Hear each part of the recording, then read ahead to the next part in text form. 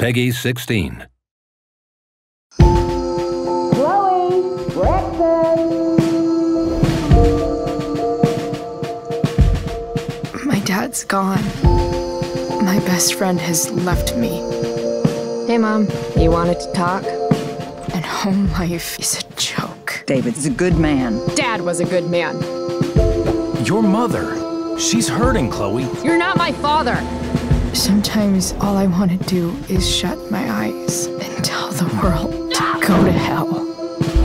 Am I wrong to think like that? Oh, good. You're here. Chloe Price. Rachel Amber? Oh, shit. That can't be the same girl from last night. Hey, dickhead! Last night was amazing. Come on, hurry up! There's more to experience out there than just Arcadia Bay. Don't be surprised if one day I'm just out of here. Sometimes, when you meet someone who's going to change your life, you just know it, I guess. Let's do something fun. Fuck yes. Rachel, run! What the hell? Next time, mind your own business. Calm down. Walk away.